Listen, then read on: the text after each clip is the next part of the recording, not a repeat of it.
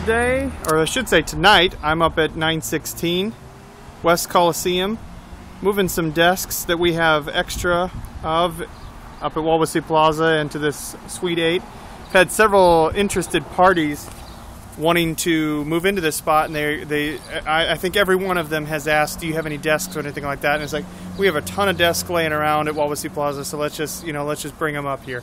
I had a tenant that I thought was uh, ready to sign paperwork yesterday, and they kind of backed out at the last minute. So we already had everything loaded up. I was like, well, let's just not you know waste time and let's make a trip up to Fort Wayne, drop off the stuff, fix a couple things. I fixed. Uh, let me show you. I don't know if you can see it, but there's a little, um, at the peak of this, these two roofs where they combine, there's a vent that was broke.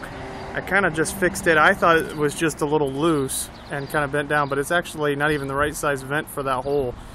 So I put some screen material up and it, it doesn't look great, but until we fix the roof, I think that solution will be fine. At least enough to resolve it. When I was working on, walking on the roof, I did notice that this section over here some of the shingles are actually bad and they need to be replaced. So we'll have to work on that. I think I want to have that section reshingled. Then I'm going to have this section shingled. Then I'm going to have this section shingled. I think we'll do that all at one, uh, not at one time, but uh, individually.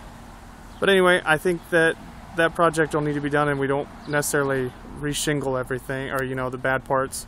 And again, I just need to look at it a little bit more and see if it's cheaper for me to, you know, have the whole roof done in some steel like I want to to have it last a lot longer or if I should just replace those couple tiles and wait a couple years. That's a, that's a toss up.